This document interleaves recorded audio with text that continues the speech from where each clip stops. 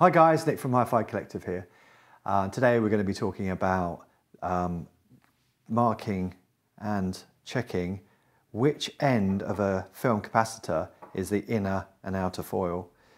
Now, obviously a film cap will work either way round, but the idea is that the outer foil should be at the lowest impedance because uh, basically that acts as a shield.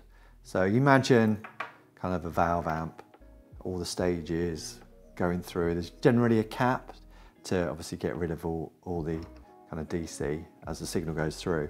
So you've got a little bit of noise at the very first one, it gets amplified, and then it comes out a bit noisy at the end.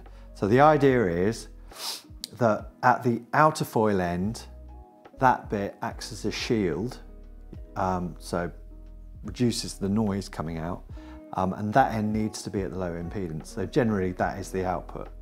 So imagine you've got, you know, the anode, yeah, and you've got a cap. That, the anode, the, the lead connects the anode is the inner foil, but the outer foil is the output end. I know it's a bit confusing, but um, anyway, let me illustrate with this cap. So this is a tin foil from Audio Note. Now the way to check it is a couple of ways, and we're going to use the scope way first. So you've got your scope, you can see the track, it's obviously making loads of noise because it's not connected to anything. You just, either way around, pin there, connected to the ground, and that connects to there. So you can see there's a trace here. That's very, very low voltage, um, and it's showing noise effectively. I don't know which one's the inner foil, which one's the outer foil. I've just wired it up. Um, so, so I leave it like that. If I touch that, you can see how my hand is creating noise and it increases. Oops, only slightly.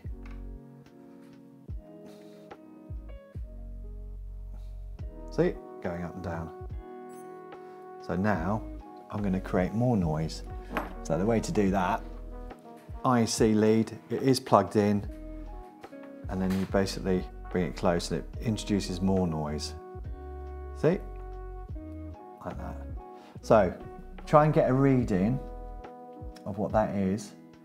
So that, that's 1.2 divisions there. Cool.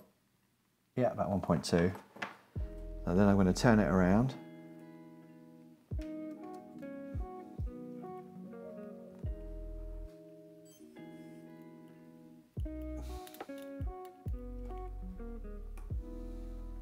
Yep, you can see that that's quite a lot bigger. Not a lot bigger, but that's reading ooh, quite, it's probably about two, just over two divisions.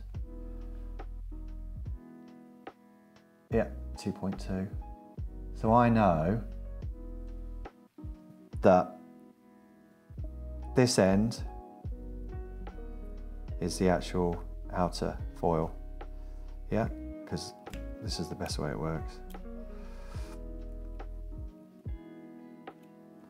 Yeah, see that's reduced because you want to quiet, the quietest one is the way around it should be.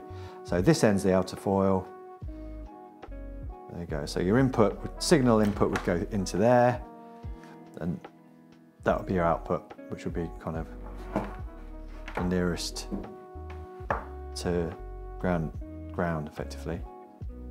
Got it? So let's try it again with this one. This is a bigger cap. So the issue is the larger the capacitance, the more difficult it is to see which way around it is. So just any old way.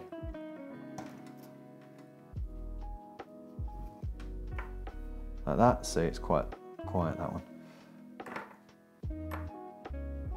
So I've turned it to times, times one. Right, so big, biggest peak is, on this one is about 2.4. Swap it round, see what, how that measures.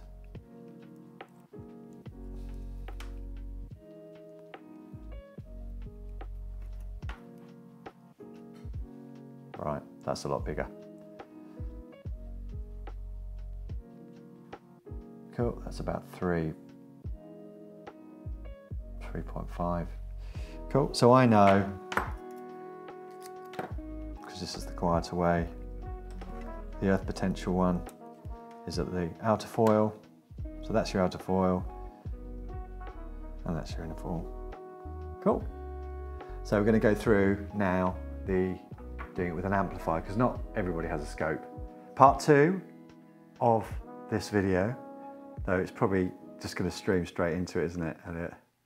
Anyway, we're now going to be using an amp to determine which is the inner outer foil of the cap. So for this experiment, we're using Elekit, um, the 8500 preamp, and then this old thing, which is A&K kit, uh, EL34 push-pull. I mean, that must this must be 12 years old. And then um, Celestion Ditton 33s. So we're just using this speaker so you can hear it for, for example, for the sake of argument. So here we have basically an RCA, this lead. The black is connected to the earth, the red is connected to the signal. So that goes in. Can, see, can hear that? That's telling you that I'm hitting it in this speaker. You hold it there like this. Ooh, volume's right up. Let's get this, hold this as well. In fact, I'll hold it like that. Can't really hear anything, can you? So I'm pretty positive that this, that's the, connected up correctly. That is the outer foil. Okay, I'm gonna swap it around. You might want to turn the volume down while you're doing this. You don't want to mash up your speakers. Okay, holding the wire there, it's plugged in. Ooh. Did you hear that? Ooh. Yep. So that confirms my suspicions. That ends the outer foil, that ends the inner foil. That end, of the outer foil goes to the output, so the lowest impedance on the circuit. That's brilliant. So that was using a 0.22. I'm gonna turn the volume down. Just gonna do it again using a lower capacitance cap. This is a 0.01. Mundorf Supreme Silver Gold Oil. I've turned the volume down, that's why it's not going crazy. Turn the volume up, holding my lead. Hear that?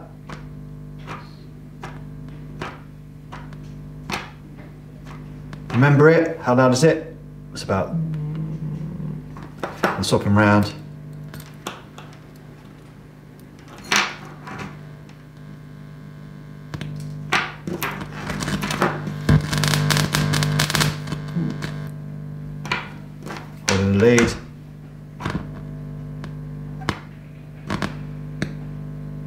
Definitely feels, sounds louder.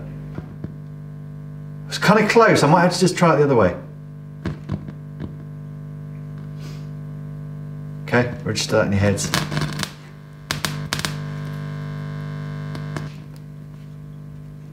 Oh, that's definitely quieter.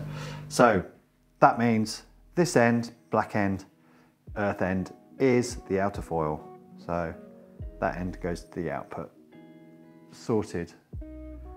Which one's easier? I don't know, I think the scope's easier because you don't have to set all this up, you just have the scope with the probes.